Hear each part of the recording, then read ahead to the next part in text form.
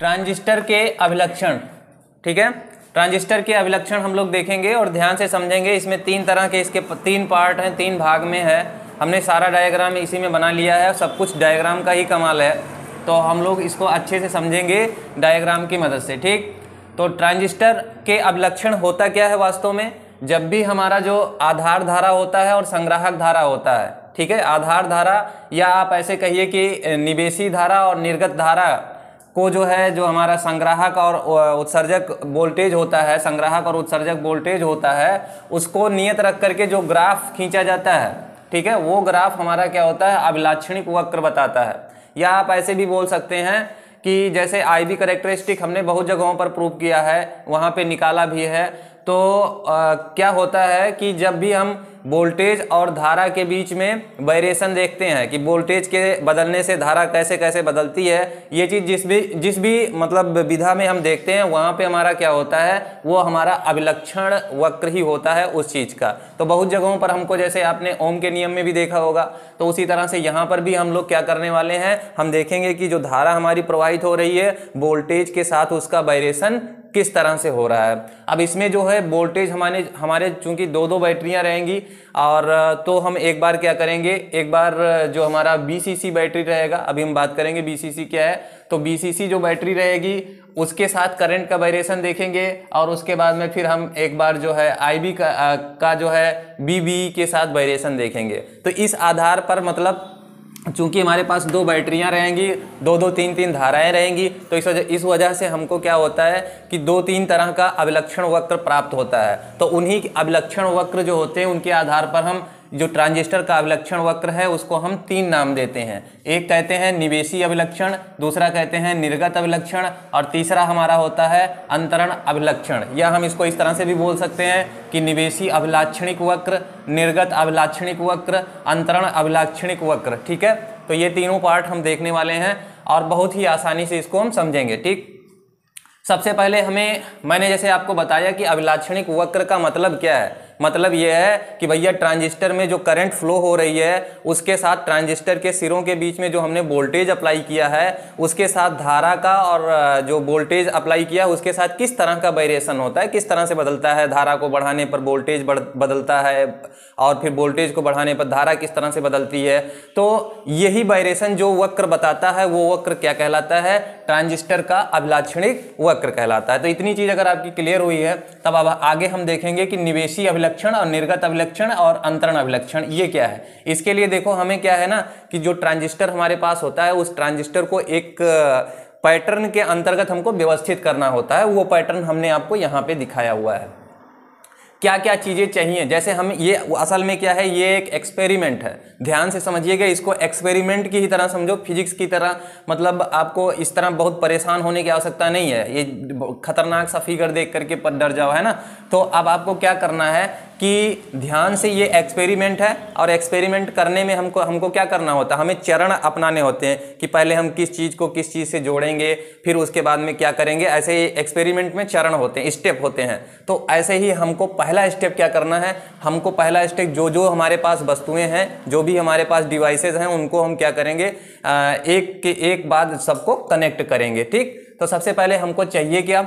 N P N transistor चाहिए because हम लोग यहाँ पर जो है उभयनिष्ठ उत्सर्जक उभयनिष्ठ उत्सर्जक का जो है अभिलाक्षणिक वक्र यहाँ पे एनपीएन उभयनिष्ठ उत्सर्जक का जो है, हम लोग यहाँ पर अभिलाक्षणिक वक्र खींच रहे हैं तो इसलिए हमने एनपीएन ट्रांजिस्टर सबसे पहले ले लिया, ठीक? उसके बाद में हमको क्या करना है? उसके बाद में हमको जो है दो बैटरी लेनी है और दोनों बैटरियों को हमें इस तरह से कनेक्ट करना है। अब देखो, पहले ये चीज़ तो है, ये फिगर है ही, लेकिन इसके साथ साथ हम एक इसका जो है समझिए कि एक तरह का हम बोले तो डुप्लीकेट फिगर हम बनाएँगे। उस, उसके माध्यम से इसको समझने की कोशिश करेंगे कैसे ये चीज़ होता है। ध्यान से देखिए, जैसे हमने लास्ट टाइम में आपको एनपीएन ट्रांजिस्टर बताया था तो एनपीएन ट्रांजिस्टर में होता क्या था भैया? उसमें तीन टर्मिनल होते थे, है ना? एनपीएन हमारा है ना एन अब इस पूरे फिगर को कैसे आप अपने दिमाग में सेट कर पाओगे, उसके लिए ये बहुत महत्वपूर्ण है। वरना आप भूल जाओगे, समझ रहे हो ना? तो यन पी एन हमने ऐसे बना दिया। अब यन पी एन में तीन टर्मिनल हो गए, लो, तीन टर्मिनल हो गए। अब N P N transistor transistor चाहे एन पी एन हो, चाहे पी एन पी हो, इसमें जो पहली पहली संधि होती है, चाहे एन पी अगर एन पी एन है तो एन पी संधि और अगर पी एन पी है तो पी एन संधि, वो हमेशा कैसी होती है? अग्रदिशिक होती है। इसमें भी वही चीज़ हमें ध्यान रखना है। उसी तरह से जोड़ेंगे, जैसे हमने लास्ट में एन पी एन और पी एन पी में बैटरी की बॉइसिंग किया था, ठीक? तो एन पी संधि जो रहेगा, ये अपना रहेगा अग्रदिशिक। और इसको अग्रदिशिक अगर हमें बनाना है तो एन टाइप को क्या करेंगे? निगेटिव टर्मिनल से जोड़ेंगे और पी टाइप को पॉजिटिव टर्मिनल से जोड़ देंगे, इस तरह से, ठीक? और ये अपना क्या हो जाएगा? और दूसरा जो होता है, दूसरा संधि, यानी पीएन संधि होगा इसमें, वो पश्च दिशिक रहेगा। पीएन संधि कैसे रहेगा? पश्च दिशिक रहेगा। ये आपका अग्र दिशिक रहेगा।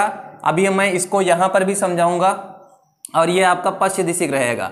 तो इन दोनों को हम जो है, अब ये पश्च दिशिक अगर करना है तो निगेटिव को हमें पॉजिटिव से जोड़ना होगा और इस तरह से हम, और निगेटिव को जो है हमें पॉजिटिव से जोड़ना होगा।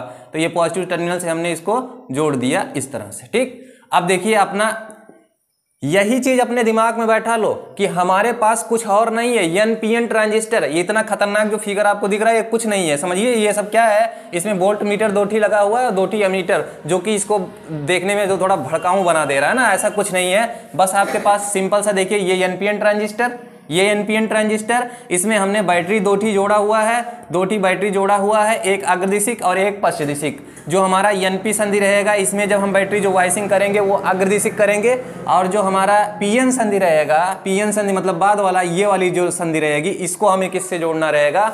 हमको पश्चिदिशिक जोड़ना रहेगा, ठीक? अगर इतना चीज़ क्लियर हो गया तो ये जो डुप्लीकेट फिगर है, ये अपने आप दिमाग में बैठाइए, और उसके बाद में इसको समझिए। अब आप देखिए, यहाँ पे जो है एनपीएन ट्रांजिस्टर में ये जो होता है एनपीएन ट्रांजिस्टर में इसको हम क्या कहते हैं? एमीटर कहते हैं। इसको क्या कहते हैं? बेस कहते हैं। इसको क्या कहते हैं? कलेक्टर कहते हैं। तो एमीटर बेस कलेक्टर ये चीज़ हो जाती है। कुछ उसी तरह से आप यहाँ पर भी देखिए। यहाँ पे अपने पास एनपीएन ट्रांजिस्टर है। ये रहा एमीटर ये रहा बेस ये रहा कलेक्टर चूँकि हमको क्या करना है? हमने यहाँ पर जो भी एनपीएन ट्रांजिस्टर का वक्र खींचने के लिए कहा है तो इसमें हमने जो है कॉमन एमीटर लिया हुआ है। कॉमन एमीटर का मतलब उभयनिष्ठ उत्सर्जक विन्यास का हमें कॉन्फ़िगरेशन वाला या एनपीएन ट्रांजिस्टर हमने लिया हुआ है। तो उस स्थिति में क्या होगा कि हमें जो है एमीटर को इनपुट के साथ में भी जोड़ना होगा और एमीटर को ही हमें आउटपुट के साथ भी जोड़ना होगा, ठीक? तो ये चीज़ करने के लिए हम करेंगे क्या? सबसे पहले देखिए हम, हमने जो है, जो इस तरफ़ हमने बैटरी ली थी, इस तरफ़ जो हमने बैटरी ली, इसी चीज़, इसी फिगर से हम इसको रिलेट करके आपको बता रहे हैं। हमने जो यहाँ पे बैटरी लिया था, वो उसको हमने नाम दिया है बी बी बी देखिए, ये बैटरी बी बी बी है। और उसके बाद में क्या है? इधर वाला जो हमने बैटरी लिया है, उसको हमने नाम दिया है बी सी सी ठीक है बीसीसी बैटरी हमने इसको कहा है। मान लेते हैं कि जो बैटरी है बीसीसी उसके सिरों के बीच में जो वोल्टेज है, चूँकि हमने वो वोल्टेज किसके किसके बीच में लगाया है भैया? एमीटर और कलेक्टर के बीच में। देखिए एमीटर और कलेक्टर के बीच में ही तो ये बैटरी लगी हुई है। तो इसलिए हमने यहाँ पर एक वोल्ट मीटर लगाया। समांतर क्रम में हमने यहाँ पे एक वोल्ट मीटर लगाया हुआ है। समांतर क्रम में जो वोल्ट मीटर लगाया, उसका नाम दे दिया बी सी ई बिकॉज़ यहाँ सी और ई e के बीच में हमने लगाया तो हमने इसको कह दिया बी सी ई समांतर क्रम में इसको जोड़ेंगे। बस इसका इतना ही काम रहेगा, इसका इतना ही काम रहेगा कि ये वोल्टेज बताएगा कि इस बैटरी से जो वोल्टेज इधर ट्रांसफ़र हो रहा है, वो वोल्टेज कितना है। ठीक? दूसरी चीज़ है, यहाँ पर यहाँ पर अगर ये चीज़ आप देख रहे हो तो ये और कुछ नहीं है, ये वास्तव में आपका है रियो स्टेट। रियो स्टेट मतलब आर एच है यहाँ पे। ये रियो स्टेट क्या करेगा? रियो स्टेट से हम किसी बैटरी के सेल को जो किसी बैटरी का जो वोल्टेज होता है, उस वोल्टेज को पूरे उसके राड पे, जो रियो स्टेट आपने देखा होगा तो रियो स्टेट में एक राड होता है, उस पूरे राड पर फैला सकते हैं। और उस राड की मदद से हमने जो है लास्ट में देखा था कि अगर वो पूरा पोटेंशियल उस राड पर हो जाता है तो फिर हम जैसे जैसे वहाँ पे आगे पीछे खिसका करके, जो जौकी होती है, उसको आगे पीछे हम खिसका करके क्या कर सकते हैं, हम वोल्टेज को घटा बढ़ा सकते हैं। कुल मिला के इतना जो फिगर है ये इतना जो आपको दिख रहा है जे टू जो दिख रहा है, ये पूरा आपको बस इतना ही बताएगा कि जो बैटरी बीसीसी लगी हुई है, उसके वोल्टेज को हम इसकी मदद से घटा बढ़ा सकते हैं। तो इसमें आपको परेशान होने की आवश्यकता नहीं है। ये वो, ये बैटरी जो हमने लगाई है बीसीसी जो बैटरी हमने यहाँ पर बताया ना, वो बैटरी के वोल्टेज को कंट्रोल करने के लिए हमें इतना व्यवस्था देना पड़ा है। और ये रही बात तो ये है आपका वोल्ट मीटर एक लगाया गया है। ये वोल्ट मीटर क्या करेगा? इस बैटरी से जितना भी वोल्टेज सप्लाई होगा, वो बताएगा उसकी रीडिंग करेगा। फिर यहाँ पर हमने एक मिली अमीटर लगाया हुआ है। मिली अमीटर क्या करेगा? जो बैटरी बीसीसी होगी, इससे निकलने वाली जो धारा होगी, इसमें जाएगी जो कलेक्टर में, वो हमें बताएगा कि भैया इतनी धारा इसमें जा रही है। ठीक है? वो मिलीमीटर क्या करेगा? इसमें जो बहने वाली धारा है, उसको मेजर करेगा। ठीक? तो ये वाला ये वाला परेशान होने की आवश्यकता नहीं है। ये आपका वोल्ट मीटर है, समांतर क्रम में लगा देंगे। ये अमीटर है, श्रेणी क्रम में लगा देंगे। इधर का काम खत्म हुआ। ये पूरा फिगर मुझे लगता है आपके दिमाग में बैठ गया होगा। यहाँ पे कुछ और नहीं है। आपके पास जो भी चीज़ें मैंने आपको समझाई, उसी तरह से रिलेट करके इसको ध्यान रखिए, ठीक? दूसरी चीज़ है, जो चीज़ इधर है सेम चीज़ इधर भी है। समझ रहे हो ना? अपने पास एक जो ये बैटरी थी, इसको हमने नाम दिया बी बी बी और उसके बाद में हमने यहाँ पर इसके पैरल में एक बैटरी लगाया वोल्ट मीटर लगाया हुआ है बी बी ई वो बी बी ई ई क्यों कहा मैंने? क्योंकि देखिए ये बेस और एमीटर के बीच में लगा हुआ है और बेस और एमीटर के बीच में कितना वोल्टेज अप्लाई हो रहा है, उस वोल्टेज को बताएगा, इसलिए बी बी ई बोल दिए, ठीक? अब जैसे ये यहाँ पर काम कर रहा था सेम काम वो यहाँ पर करेगा, ठीक? और यहाँ पे जो मिली अमीटर जैसे हमने लगाया था, यहाँ पर हम लगाएँगे माइक्रोमीटर बिकॉज़ जो इस इस पाथ में हमारा जो करंट होगा वो बहुत कम होता है, इसलिए हम यहाँ पर माइक्रो अमीटर लगाएँगे आईबी करंट को मेजर करने के लिए, ठीक? तो इस तरह से अपना ये पूरा का पूरा जो है सर्किट डायग्राम बन गया है। सर्किट डायग्राम अगर आपने व्यवस्थित ढंग से बना लिया तो सारी चीज़ें हम प्राप्त कर सकते हैं। ट्रांजिस्टर का जो हमारा अभिलक्षण है, उसमें निवेशी अभिलक्षण, निर्गत और अंतर, ये सारी चीज़ें हम फाइंड आउट कर सकते हैं बारी बारी से। तो ये अपना क्या था? ये हमने जो है सर्किट डायग्राम बनाया। मतलब कहने का ये कि हम जो उपकरण लेंगे, उसको किस किस तरह से जोड़ेंगे, ये अपना काम अभी ये कंप्लीट हुआ, ठीक? अब अगर हमारा ये कंप्लीट हो गया तो हम सबसे पहले देखते हैं निवेशी अभिलक्षण क्या होता है। ठीक? निवेशी अभिलक्षण देखने के लिए हमको करना क्या होगा भैया? हमको सबसे पहले, सबसे पहला काम क्या है कि बीसीसी को एक फिक्स एक सर्टेन वोल्टेज पर फिक्स कर देना। मतलब वो सर्टेन वोल्टेज मैं ले ले रहा हूँ। मैं सर्टेन वोल्टेज पहले, पहली बार में क्या कहता हूँ कि मैंने एक वोल्ट पे बीसीसी को फिक्स कर दिया है। देखो, ध्यान से समझिए, हम लोग करने क्या वाले हैं? हम लोग जो है, निवेशी अभिलाक्षणिक वक्र खींचने वाले हैं। किसकी मदद? एनपीएन ट्रांजिस्टर का निवेशी। और वो भी कौन सा? उभयनिष्ठ उत्सर्जक विन्यास के लिए हम लोग खींचने वाले हैं, निवेशी अभिलाक्षणिक वक्र खींचने वाले। तो इसके लिए हमको सबसे पहले क्या करना है? इसके लिए सबसे पहले हमको क्या करना है कि हमको जो है ना, जो बैटरी बीसीसी है, वहाँ पर, यहाँ पे देखो अपने पास जे टू है ना, इन दोनों की मदद से हम लोग क्या कर लेंगे? इसको जितने वोल्टेज पर मेरा मन करेगा, उस वोल्टेज पर मैं फिक्स कर सकता हूँ। तो यहाँ पे मैं क्या करूँगा, सबसे पहले बीसीई को हम एक बोल्ट पे फिक्स कर देंगे। बीसीई हमारा रीडिंग कितना देना चाहिए? एक बोल्ट जैसे ही एक बोल्ट की रीडिंग देना, देगा, उसको हम छोड़ देंगे, इधर हम बिल्कुल नहीं टच करेंगे, हम इस तरफ़ आ जाएँगे, ठीक? और इधर हमको क्या करना है? इधर जो है हमको इसका जो वोल्टेज है धीरे धीरे बढ़ाना है। इसके वोल्टेज को हमें धीरे धीरे क्या करना है? बढ़ाना। है और वोल्टेज को धीरे धीरे बढ़ा करके संगत धारा, ध्यान से समझिए वोल्टेज को बढ़ाएँगे। बढ़ाने का मतलब है कि जैसे मान लो मैंने 10 वोल्ट पे किया, फिर उसके बाद में 11 वोल्ट पर करेंगे, फिर 12 वोल्ट 13 वोल्ट ऐसे करेंगे और उसके संगत जैसे मैं वोल्टेज बढ़ाऊँगा ना, ये जो माइक्रोमीटर है ना, इसमें भी करंट का वैल्यू भी क्या होगा? बदलेगा, बढ़ेगा। तो जब वोल्टेज बढ़ाएँगे तो करंट भी बढ़ेगा। तो जैसे मैंने 10 वोल्ट पे कितना मेरा ये माइक्रो अमीटर कितना रीडिंग दे रहा है उसको नोट कर लेंगे।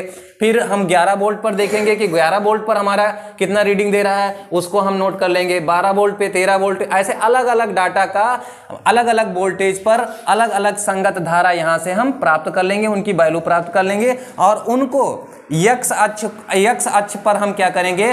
बैटरी बीई बी का वोल्टेज लिखेंगे, जो यहाँ पर हमने, जैसे मैंने कहा, अभी 10 वोल्ट कहा 11 वोल्ट कहा 12 वोल्ट कहा, ऐसे जो रहेगा, उसको हम यक्स अक्ष पर ऐसे बना लेंगे, और वाई अक्ष पर हम क्या करेंगे? जो बेस करंट होगी, आधार धारा होगी, उसको हम बेस वाई अक्ष पर ऐसे हम बना लेंगे, ठीक है? डाटा मतलब यहाँ पर फिल कर लेंगे, और उसके संगत कि हमें कितने बोल्ट पर कितना करंट प्राप्त हुआ है, वो पॉइंट प्राप्त कर लेंगे। उन सारे पॉइंट्स को हम एक करके करके आपस में मिला देंगे। मिलाने से जो वक्र हमको प्राप्त होगा, उस वक्र को हम क्या कहेंगे? निवेशी अभिलाक्षणिक वक्र कहेंगे। ठीक है? तो बस भैया, एकदम आसान है। अब आप देखिए कितनी आसानी से ये सारी चीज़ें हो गई। निवेशी अभिलाक्षणिक वक्त हमें एक बोल्ट के लिए प्राप्त हो गया। बिकॉज़ हमने इसको क्या किया था? एक बोल्ट पे फिक्स किया था। तो हम इस ग्राफ को बोल सकते हैं कि B C equal to one volt ठीक? दूसरा चीज़ है, चलो हम देख लेते हैं कि क्या बी सी वोल्टेज को घटाने बढ़ाने से भी इफ़ेक्ट पड़ता है। तो इस इसको चेक करने के लिए हम क्या करते हैं? अब की बार फिर से एक दूसरा एक्सपेरिमेंट करते हैं। मतलब इसी के लिए निवेशी अभिलक्षणिक वक्र के लिए दूसरा एक्सपेरिमेंट करते हैं। आ, वो, क्या करते हैं? बीसीई को अब इस बार हम जो है 10 वोल्ट पे फिक्स कर देते हैं। तो बीसीई को जब 10 वोल्ट पर हम फिक्स करते हैं फिर फिर से वही सेम प्रोसेस दोहराएँगे। वो इस वाले जो बीबीई है इसके वोल्टेज को घटाए बढ़ाएँगे संगत धारा के मान को रीड करेंगे डाटा जो है आ, फिक्स करेंगे उसी उसी ग्राफ पे उसी ग्राफ पे हम इसको फिर से क्या करेंगे जो हमारा वोल्टेज आया रहेगा वोल्टेज वोल्टेज को इधर हम और उसके बाद में जो संगत धारा का वैल्यू आया रहेगा उसको इधर और सारा वैल्यू जब मिलाएँगे तो हमको जो है ग्राफ कुछ इस तरह से प्राप्त होगा। ये वाला ग्राफ हमको प्राप्त होगा ये वाला ग्राफ ठीक? हालाँकि ये भी आपका अभिलाक्षणिक वक्र है निवेशी अभिलाक्षणिक वक्र है ये भी निवेशी अभिलाक्षणिक वक्र है। ये कितने वोल्ट पर है? एक वोल्ट पे है ये कितने वोल्ट पर है? दस वोल्ट पर। कहाँ के वोल्टेज पर? भैया ये है उत्सर्जक और संग्राहक। के वोल्टेज पर, वो भी नियत वैल्यू के लिए, ठीक? तो इस तरह से हमको ये ग्राफ प्राप्त होगा। अब अग, इन, अगर इन ग्राफ का अध्ययन किया जाए तो हमें तीन पॉइंट निकल कर सामने आएँगे। तीन पॉइंट क्या है, वो हम, उसको भी डिस्कस करेंगे, ठीक? पहला पॉइंट तो हमारा ये है कि प्रारंभ में क्या है? प्रारंभ में जो हमारी बेस धारा है, ध्यान से अगर देखो ग्राफ के इस हिस्से को, यहाँ से और यहाँ तक अगर ग्राफ को ध्यान से देखो तो आपको लगेगा कि भैया आई बी यहाँ तो ज़ीरो नज़र आ रहा है। देखिए ग्राफ के इस हिस्से को अगर देखोगे ध्यान से तो आपको क्या नज़र आएगा कि आई बी ज़ीरो है। आई बी ज़ीरो कैसे है? आई बी ज़ीरो कैसे है? आप यहाँ से ध्यान से देखिए, जब वोल्टेज को हम, मान लो हमारा वोल्टेज शुरुआत में कितना, अगर मैं यहाँ पर हूँ तो वोल्टेज कितना है भैया? ज़ीरो है, लेकिन ज़ीरो से मैंने वोल्टेज को धीरे धीरे बढ़ाया बढ़ाया बढ़ाया बढ़ाया। दशमलव दो वोल्ट तक लेकर गए। लेकिन सर्किट में जो बेस धरा है, ये हमारा जो मिली माइक्रो अमीटर लगा हुआ है ना, ये अपना ज़ीरो डिफ्लेक्शन दिखाएगा। क्यों ज़ीरो डिफ्लेक्शन दिखाएगा? बिकॉज़ कोई करंट नहीं फ्लो हो रही होगी, है ना? तो जब ये ज़ीरो डिफ्लेक्शन दिखाएगा, कोई करंट इसमें नहीं फ्लो हो रही होगी तो इसका मतलब यह है कि एक सर्टेन वोल्टेज से पहले बेस धारा शून्य होती है। एक सर्टेन वोल्टेज से पहले बेस धारा शून्य होती है और ये प्रोसेस ये समस्या काहे हो रही है? ये हम लोगों ने लास्ट टाइम में देखा था और यही सर्टेन वोल्टेज था। आपका क्या होता था? पोटेंशियल बैरियर होता था, जो करंट के फ्लो होने से मना करता था। ये हम लोग लास्ट टाइम में सेमीकंडक्टर जब हम लोग उसका जो है डोपिंग पढ़ रहे थे पीएन जंक्शन डायोड पढ़ रहे थे, वहाँ पे हम लोगों ने अच्छे से पढ़ा था, ठीक है? तो इसी के कारण शुरुआत में आईडी जो करंट है, वो आपका क्या होता है? शून्य होता है। लेकिन हम उस उसके बाद अगर वोल्टेज को धीरे धीरे थोड़ा थोड़ा बढ़ाते जाते हैं तो हम देखते हैं कि धीरे धीरे क्या होता है? हमारा जो है आईबी यानी बेस धारा है, वो भी धीरे धीरे क्या होने लगती है? बढ़ने लगती है। और धीरे धीरे बढ़ने के बाद में फिर देखते हैं कि वोल्टेज को हम चाहे जितना बढ़ाते जाते हैं, आगे हम चाहे जितना वोल्टेज को बढ़ाते जाते हैं बीबीई को, इस वोल्टेज को मैं चाहे जितना बढ़ा देता हूँ, लेकिन एक सर्टेन वोल्टेज के बाद क्या होता है?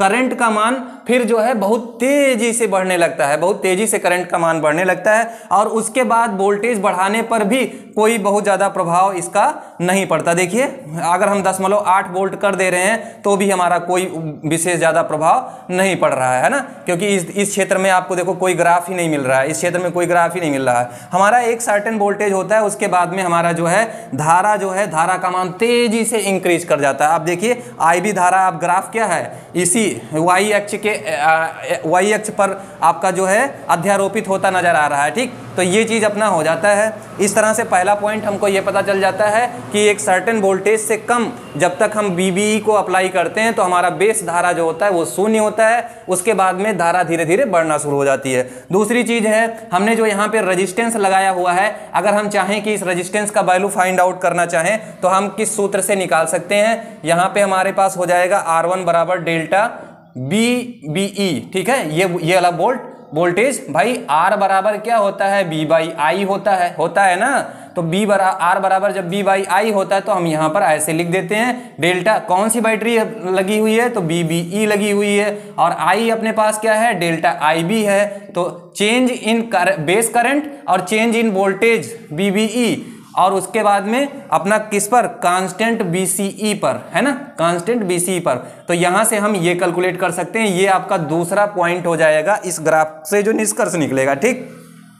तीसरा पॉइंट अगर हम बात करें तो तीसरा पॉइंट बस सिंपल सा है। यही है भैया कि बीसीई के वोल्ट से कोई बहुत ज़्यादा प्रभाव नहीं पड़ता है। आप ध्यान से देखिए जिस तरह का ग्राफ हमको पहले प्राप्त हुआ लगभग उसी तरह का ग्राफ हमको प्राप्त हुआ है। थोड़ा सा ये है कि इसका जो है वैल्यू ये बढ़ जाता है कि अब हम ज़्यादा वोल्टेज अप्लाई करके जो है क्या करते हैं हमारा करंट आईबी करंट बढ़ता है ठीक है? तो ये हमारा बस इतना ही हो गया निवेशी अभिलाक्षणिक वक्र। अब अगर हम बात करें आ, निर्गत अभिलाक्षणिक वक्र में तो ध्यान दीजिए, अभी हमने पहले केस में क्या किया था? बीसीसी को फिक्स कर दिया था, और उसके बाद में हमने बीबीई को बैरी करवाया था। अब हम यहाँ पर दूसरे वाले ग्राफ में इसका उल्टा करने वाले हैं। अब की बार हम इसको फिक्स कर देंगे, और इसको बैरी करवाएँगे, ठीक? तो इसीलिए देखो, मैंने यहाँ पर, जहाँ पर मैंने पहले बीबीई ले लिया था इस ग्राफ में, वहाँ पर अब की बार हमने क्या ले लिया है? बीसीई ले लिया है बिकॉज़ हम इसको बदल रहे हैं, इसको बदलेंगे, इसको हम फिक्स कर देंगे। तो हमने इसको क्या किया?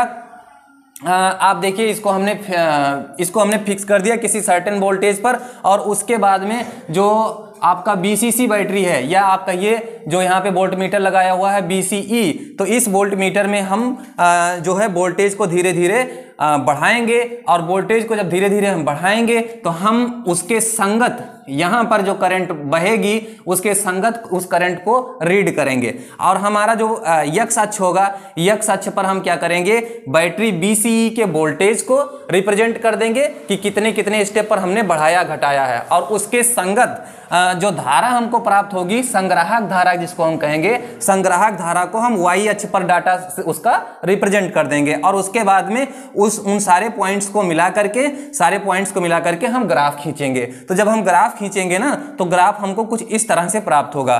पहली बात है और ये तो आ, लेकिन मैंने इसको कहा कि मैंने मैं इसको फिक्स करूँगा तो मैं इसको पहले चलो ज़ीरो ज़ीरो उस पर कर दे रहा हूँ कि जब बेस करंट हमारा कितना है? ज़ीरो है। तो अब मैंने इसको किस पर फिक्स कर दिया है?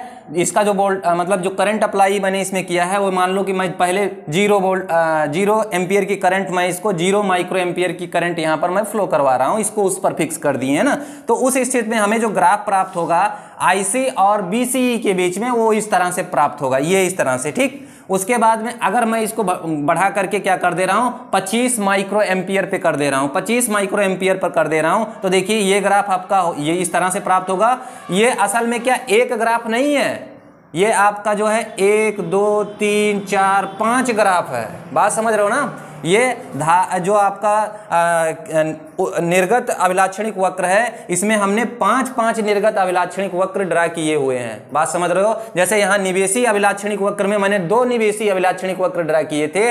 वैसे इस चीज़ को समझाने के लिए हमने पाँच अभिलाक्षणिक वक्र जो है, निर्गत अभिलाक्षणिक वक्र ड्रा किए हुए हैं। ठीक है तो ये पाँच अलग अलग वक्र बता रहे हैं। आईबी बराबर ज़ीरो पर आपको इस तरह से ग्राफ प्राप्त होगा। आईबी बराबर पच्चीस माइक्रो एम्पियर जब आप इसको फिक्स कर दोगे और वोल्टेज को घटा बढ़ाओगे, कैसे बढ़ाओगे? पाँच, दस पंद्रह, बीस ऐसे करोगे तो उसके संगत आपको धारा जो प्राप्त होगी, उन धाराओं को आप यहाँ से रीड करके उनके बीच में जब ग्राफ खींचोगे तो आपको ये इस तरह का ग्राफ प्राप्त होगा। इसी तरह से पचास माइक्रो एम्पियर फिक्स कर दीजिए इसको और उसके संगत इसको बढ़ाकर, घटाकर जो है ग्राफ खींचोगे आईसी और बीसीई के बीच में तो आपको ग्राफ इस तरह से मतलब कहने का सेम कि सेम चीज़ें हमको प्राप्त हो रही हैं। देखो, आप देखोगे इसको ध्यान से तो आपको पता चलेगा कि एक सर्टेन सर्टेन बेस करंट के लिए, एक सर्टेन बेस करंट के लिए, यानी एक निश्चित आधार धारा के लिए आपको एक निश्चित संग्राहक धारा प्राप्त होती है। आप यहाँ से ग्राफ से देखो ना, कुछ कहने का, याद करने की ज़रूरत नहीं है। आप देखिए, यहाँ से एक निश्चित बेस धारा के लिए एक निश्चित संग्राहक धारा का मान प्राप्त होता है। हर ग्राफ यही प्रदर्शित कर रहा है। तो ये आपका हो जाएगा संग्रह निवेश, निर्गत अभिलाक्षणिक वक्र हो जाएगा। और उसके बाद में अगर इसी में आप धारा लब्धि की बात करो तो धारा लब्धि को पहली बात तो क्या होता है धारा लब्ध तो धारा लब्ध क्या है कि जो संग्राहक धारा में परिवर्तन होता है, और आधार धारा में जो परिवर्तन होता है संग्राहक संग्राहक और उत्सर्जक वोल्टेज पर, है ना? जो संग्राहक वोल्ट नियत, एक नियत संग्राहक और उत्सर्जक वोल्टेज पर, नियत संग्राहक, उत्सर्जक वोल्टेज पर जो संग्राहक धारा में परिवर्तन और आधार धारा में परिवर्तन होता है, उसी के अनुपात को क्या कहते हैं? धारा लब्ध कहते हैं। इसको बीटा से रिप्रेजेंट करते हैं। तो यहाँ से आप धारा लब्ध भी निकाल सकते हो। ठीक? अब उसके बाद में अगर हम जो है, हमारा अंतरण अभिलाक्षणिक वक्र जो होता है, अगर इसको हम खींचना चाहें तो एकदम सरल है भैया। इसको क्या किया जाता है कि एक फिक्स वैल्यू कौन सा fix value B C E B C E के फिक्स वैल्यू पर आईसी और आईबी के बीच में जो ग्राफ खींचा जाएगा। ध्यान से समझिए ये क्या है? मैं जैसे तीसरे उस, तीसरे अंतरण अभिलाक्षणिक वक्र की बात कर रहा हूँ तो ये कब कब खींचोगे या कब आपका वक्र जो है अंतरण अभिलाक्षणिक वक्र कहलाएगा? जब आप नियत बीसीई मतलब आ, नियत बी सी माने ये हो गया ठीक? दूसरा क्या चीज़ है? नियत बी पर आई सी मतलब ये संग्राहक धारा और आईबी मतलब आधार धारा इन दोनों के बीच में अगर ग्राफ खींचोगे तो ग्राफ हमेशा आपको सरल रेखा में प्राप्त होगा। जैसे हमने ओम के नियम में खींचा था, ग्राफ उस तरह से कुछ ग्राफ हमको प्राप्त होगा। और ये ग्राफ में अगर आप इस रेखा की ढाल को देखोगे, इस रेखा की ढाल को देखोगे तो ये ढाल जो होगा, वो प्रवर्धन गुणांक को रिप्रेजेंट करेगा, प्रवर्धन गुणांक को प्रदर्शित करेगा, या आप कहिए धारा लब्ध ही रहेगी कहीं ना कहीं। तो इस तरह से बीटा बराबर delta I C upon delta I B at constant B C पर पर फाइंड आउट कर सकते हो। ये आपका प्रवर्धन गुणांक यहाँ से कहलाएगा। तो तीनों चीज़ मैंने आपको बताई निवेशी अभिलाक्षणिक वक्र, निर्गत अभिलाक्षणिक वक्र और अंतरण अभिलाक्षणिक वक्र। ये परिपथ प्रतीक था। ये तीनों के जो है आपके डायग्राम हैं, तीनों वक्र हैं। इन्हीं वक्रों को क्या कहते हैं? अलग अलग नाम दिए। इसको निवेशी अभिलाक्षणिक वक्र कहते हैं, इसे निर्गत अभिलाक्षणिक वक्र कहते हैं और ये हमारा जो है अंतरण अभिलाक्षणिक वक्र है। ठीक है